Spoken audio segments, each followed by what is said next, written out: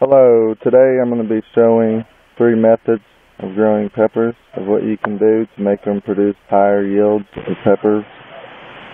Um, I've been doing this for years. I haven't actually done this with super hot peppers, so this will be the first year. I've done it with jalapenos and chilies. I've done it with a jalapeno plant one time. We got over 500 jalapenos. Uh, a lot of these tricks has been around for years. So the point of doing this is to get lower growth from the plant on all these. Each way I do this, because either way you do it, it's putting a stunt towards the plant, which stunts its growth, which is going to make its roots develop more, and push lower leaf foliage out of the nobes. So on this one, um, we're going to be pulling all the leaves off of it. This is one of the methods. So when you take off all the leaves, besides the top crown, it'll make the plant develop lower foliage.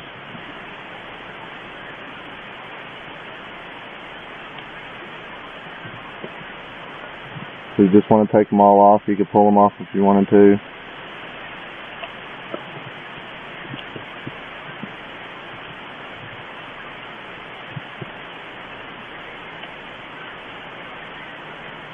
there it is. So what it'll do now is all these nubs where I cut it or Amber cut the leaves off of it here, it'll start pushing out new growth, which will give you a, a shorter, bushier tree. Which this one right here could actually get a lot huger than more of the other methods I'm trying, but at a slower pace. So on the next one here,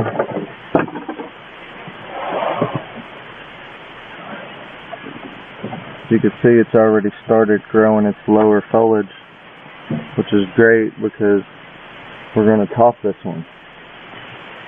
So all you want to do is go down just a couple leaves. No, not that way, up here. Oh, here? Top, yeah, we're topping this one. Okay. Yeah, right there. You'll just want to cut it off.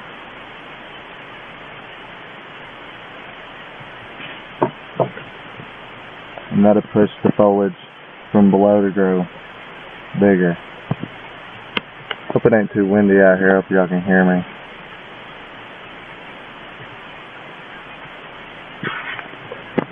And then on one, when you get one like this,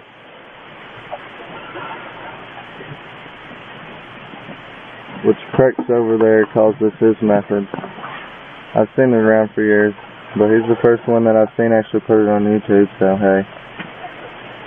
But you want to go down a, a few nobes probably more than a quarter of the way.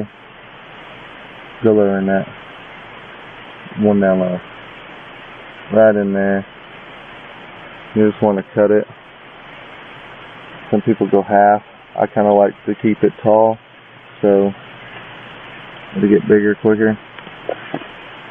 This one needs to be staked. Now on this right here, I'm going to be cloning it today too since I went ahead and we cut it, might as well clone it. It already forked on us, so that's a great feature if the clone takes. It'll be very valuable, and plus it'll come up with a lower growth too. So here's three ways that you can make your pepper plants produce higher yields and become bigger. So I hope y'all enjoyed it. I hope y'all share. I'll do an update as soon as these uh, get a little bit bigger. So thanks for watching.